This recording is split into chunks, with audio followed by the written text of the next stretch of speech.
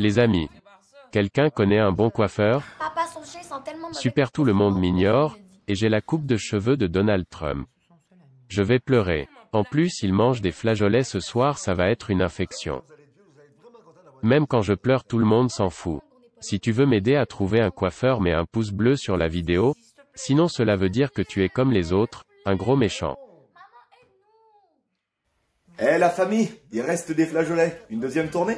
La table, c'est un lieu sacré. Profitez-en pour vous débrancher et reconnecter avec les gens que vous aimez. Et votre chien. Pub Flageolet 2021. Une boîte achetée, la caisse offerte.